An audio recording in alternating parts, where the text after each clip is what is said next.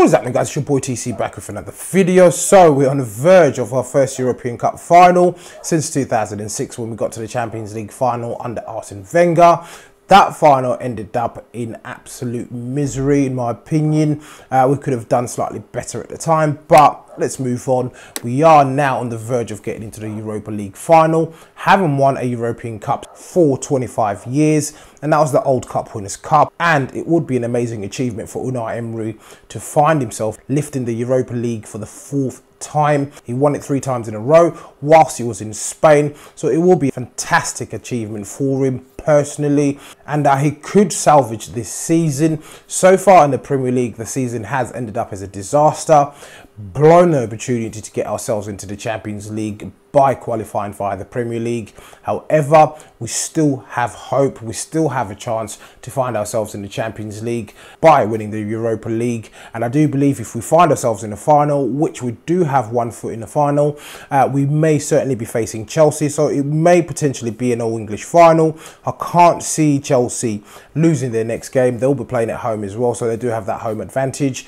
And they're obviously on a high buzzing from qualifying for the Champions League. But don't get me wrong, it will be an extremely difficult match if we do face Chelsea in the final of the Europa League. But I do believe Unai Emery has the pedigree to go ahead and actually drive us to that victory that we all are dying for in terms of actually lifting that Europa League Cup. Obviously, that will allow us to go back into the Champions League. Not the preferred route, but always known We've always known that this would be the option to get back into the Champions League as we knew from the start of the season that qualifying through the league was going to be an extremely difficult task and it has proved to be an extremely difficult task for Unai Emery and his team.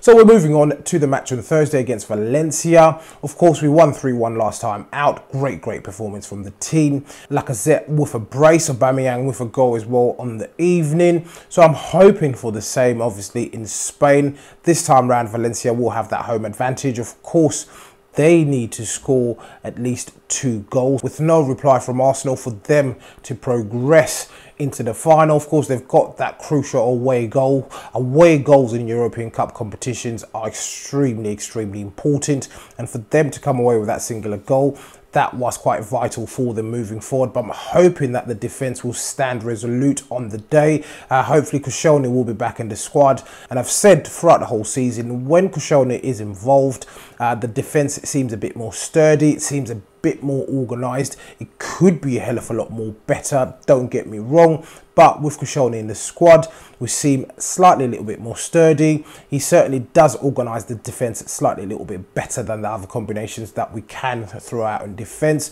The absence of Rob Holding as well, I do believe has been felt. I do believe if we had him in the squad uh, for the whole season or for the duration of this season, we would have had better results as well as the absence of Hector Bellerin has been extremely felt hard in my opinion. We're not offering much going forward. Maitland-Niles has done a great job, don't get me wrong, on that particular side of the pitch.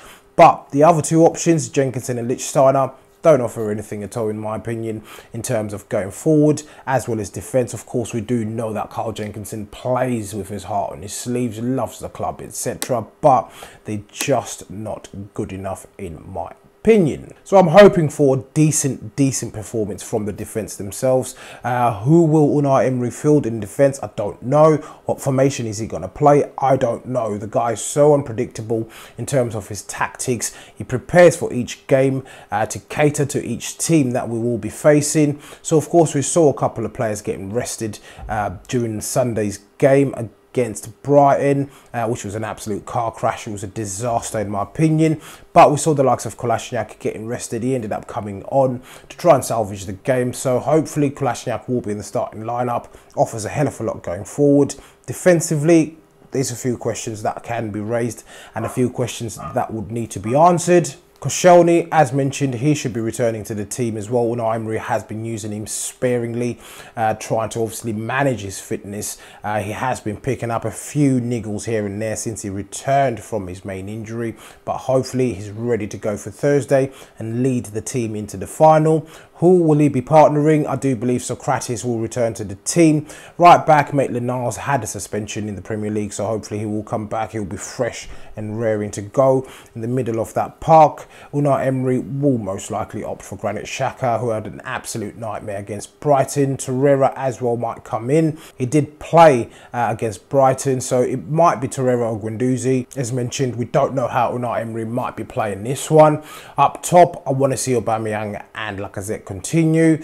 Uh, we may also see uh, Mkhitaryan coming into the team. He had a decent game on Sunday, I do believe, and I want to see Iwobi coming into the team. When he came on, uh, he was an absolute threat going forward. He was being deployed as a right wing back on that particular occasion on Sunday, so I'd love to see Alex Iwobi return to the team. So that would be my predicted starting 11 for the game on Thursday against Valencia. Am I hoping to get a result? Yes. Uh, we've got a two goal cushion. The key lies with the defence. It's just simple game management, no silly mistakes. Stay focused, concentrate on the game and the task at hand, which is getting into the final. And once we find ourselves in the final, we can deal with the final once that game approaches. But as usual, guys, please do let me know what you think in the comments below. If you're watching this video and you're not subscribed to the channel, please do make sure that you do hit that subscribe button. So once again, guys, it's your boy TC from I'm Gunner Talk TV and I'm out.